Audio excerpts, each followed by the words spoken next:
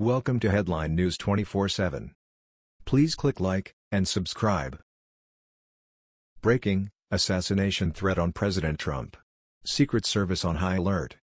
A massive army of federal, state and local law enforcement searching for a Schuylkill County man they call a clear and present danger.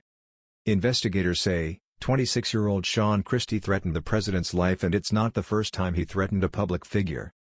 Federal law enforcement are reportedly continuing to search for a Pennsylvania man who threatened to put a bullet in President Trump's head, in addition to making a death threat against a local district attorney in the Commonwealth, Fox News reported.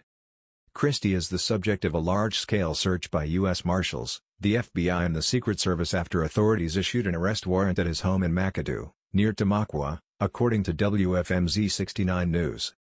Christie recently posted on Facebook that if Northampton County District Attorney John Morganelli, D, keep S, it up, the man promise S, to put a bullet in your head as, as soon as I put one in the head of President Donald J. Trump. Christie also reportedly pleaded guilty to a charge of making terroristic threats against a tax collection clerk in Bangor, which lies within Morganelli's county of Northampton. Christie lives in Schuylkill County. He is believed to be a clear and present danger to the immediate law enforcement community, U.S. Marshals official Robert Clark said Wednesday, according to the Pittsburgh Tribune Review. A large-scale search for Sean Christie near his McAdoo home turned up nothing, 69 News reports. The 26-year-old's father says if he's in the woods, good luck finding him, because he's a survivalist with a heightened reason to go under the radar. With the show they put on this morning he's going to dig in deeper, if he's around here, said Craig Christie.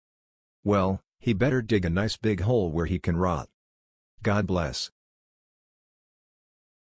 That was the news. We thought you might be interested in knowing about this. Please click like and subscribe. Thank you.